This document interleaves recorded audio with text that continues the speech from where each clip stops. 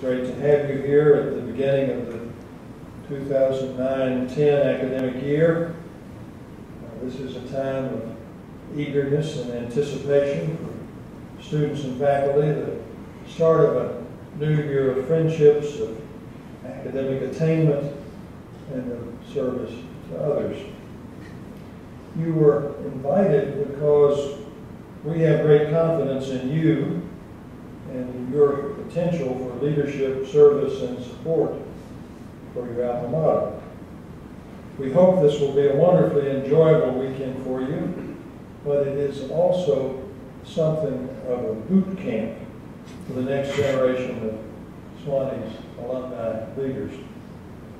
The time is at hand for many of you to step forward in the tradition of the many who have gone before you, leaders such as William Spencer, whose generosity brought this splendid new science facility from a dream to reality.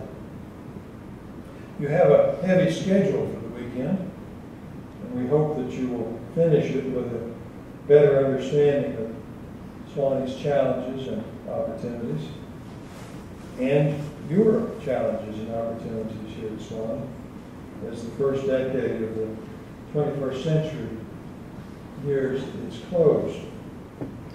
As uh, Susan noted in her altogether too generous introduction, uh, my time as uh, uh, Vice Chancellor is like this decade uh, on the wane. And this academic year will be full of occasions like this one, in which I'll be aware of its being the last one of its kind for me as Vice Chancellor.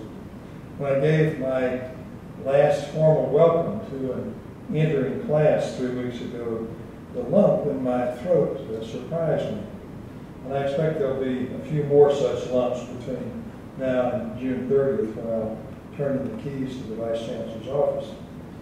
As you know well, many of us have felt called to Sewanee and blessed by the opportunity to teach, learn, and serve here.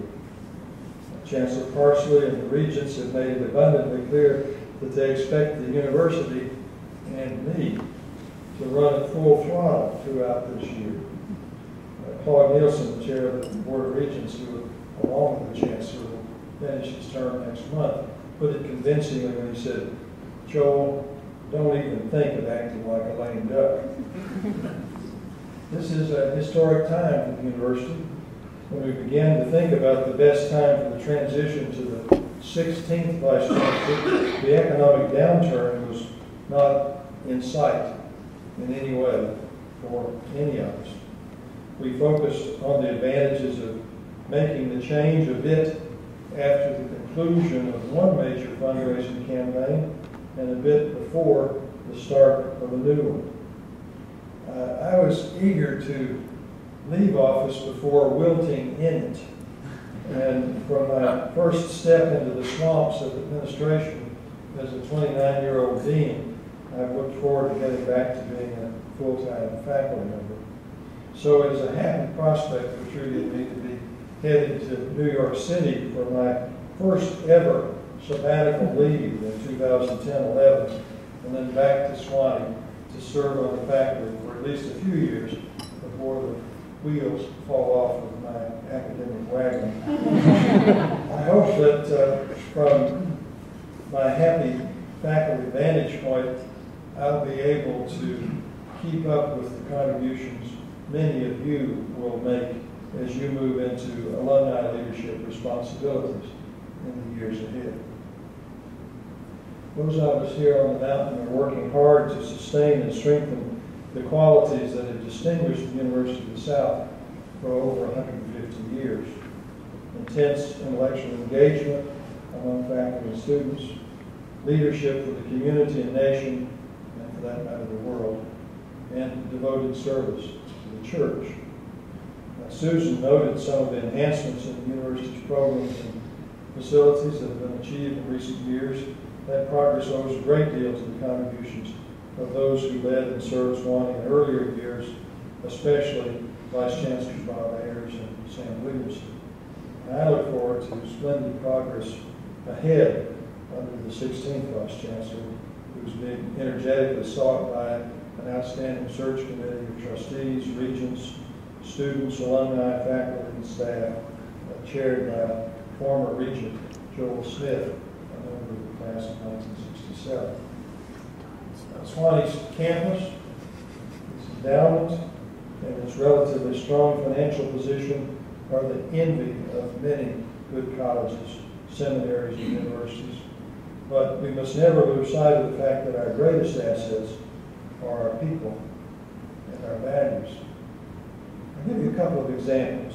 Uh, Trudy and I are uh, grateful for the gift Sewanee's given us of allowing us to teach together.